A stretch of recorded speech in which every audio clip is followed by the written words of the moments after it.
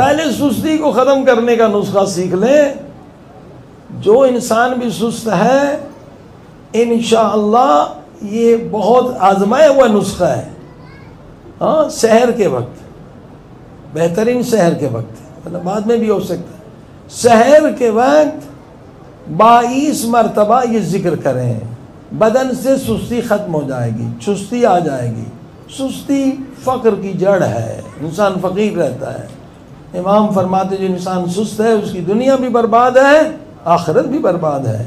سستی کو ختم کرنے کا یہ ذکر کریں، بائیس مرتبہ استغفر اللہ الذی لا الہ الا ہو، الحی القیوم، الرحمن الرحیم ذو الجلال والاکرام، من کل ذنوبی وجرمی